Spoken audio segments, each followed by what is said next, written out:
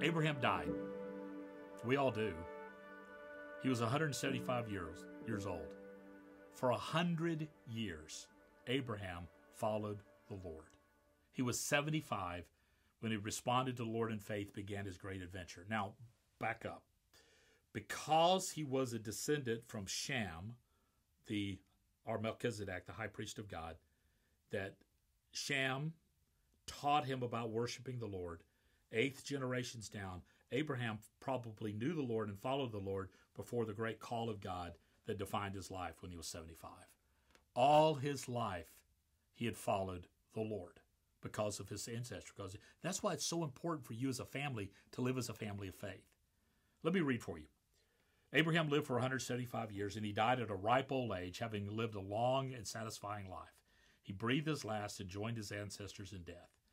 His sons, Isaac and Ishmael, buried him in the cave of Machpelah near Mamre, in the field of Ephron, the son of Zohar the Hittite. This was the field Abraham purchased from the Hittites and where he had buried his wife Sarah. After Abram's death, God blessed his son Isaac, who settled near Ber Lahai Roi in, Nev- in Negev. So Isaac settles back at the at the well where God sees. Now, I want you to take some time and think about this.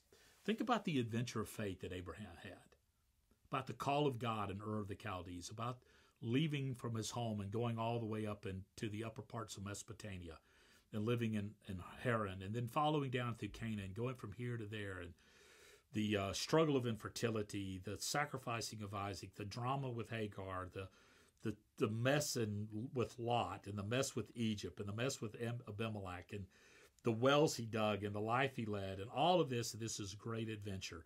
You know our lives are not measured by our adventure. Our lives are measured by our God of our adventure.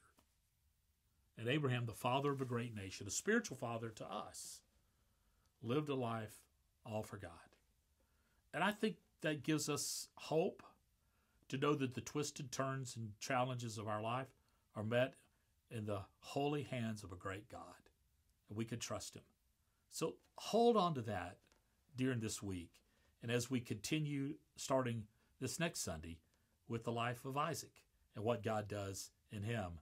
And then, of course, the dumpster fire, which is Jacob. So I hope this helps, and I'll see you on the weekend.